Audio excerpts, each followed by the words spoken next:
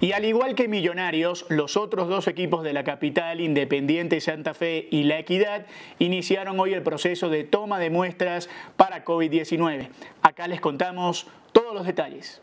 Los jugadores de la plantilla profesional de Independiente Santa Fe regresaron a la sede de entrenamientos en Tenjo para la toma de las pruebas COVID.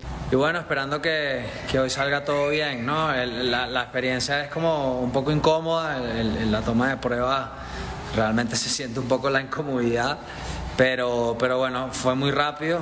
Al norte de Bogotá, la Equidad realizó la toma de las pruebas PCR bajo la coordinación del médico del Verde Capitalino, Cristian Quiseno. La Equidad Seguros, dando cumplimiento a los protocolos de mayor, se realizaron las pruebas para el retorno seguro de nuestros jugadores a los entrenamientos individuales.